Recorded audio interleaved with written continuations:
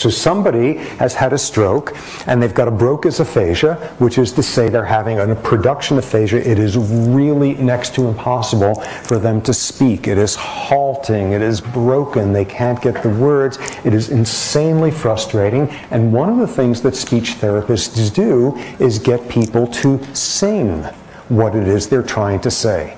Because if you make sort of a running leap there and start singing it before you think about, ooh, here I am singing, you know, the, the you know the menu at the restaurant for the customers here. Before you start doing that if you can jump quickly into it people with broca's production aphasias can sing often what they want to communicate because they are sending it down south subcortically and looping it through limbic language areas sort of marinating it in some emotional content music in this case and out it comes not surprisingly, accuracy is not so hot under those circumstances, but it's a lot better than when you've got the Broca's aphasia not being able to speak at all.